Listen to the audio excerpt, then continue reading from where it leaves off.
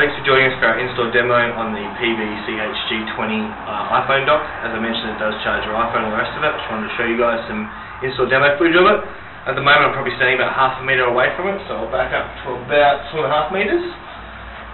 Um, and hopefully it makes your list. So, with the added convenience of being able to log in remotely and live view whatever content's going on, um, and the increased quality and, and footage that you get with the Lawmate products, hopefully this unit makes your list. As I mentioned, jump on our website, um. Check out both variants, the Android and the iOS version, um, and I'm sure we've got the solution for you. Thanks for joining us, guys, and we'll see you on the next one.